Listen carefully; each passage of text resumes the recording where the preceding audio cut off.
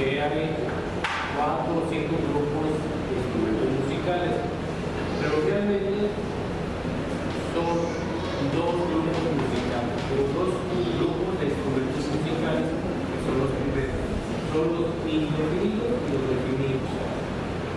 Aquellos que, sonidos que nos gustan, por lo regular están separados a los indefinidos, pero siempre.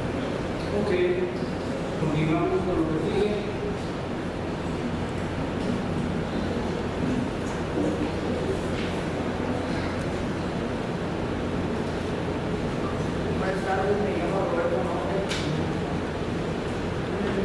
La música descriptiva, sin intentar una, una imitación concreta de sonidos reales, se desarrolla en ordenamiento sonoro por vías más o menos paralelas a aquello que se trata de tempestades, batallas, tormentas y llegada a la naturaleza.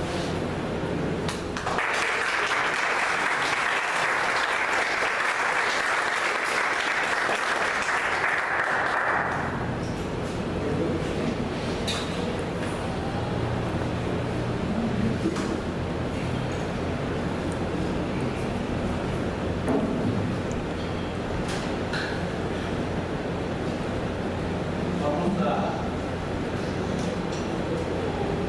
que vean en una actuación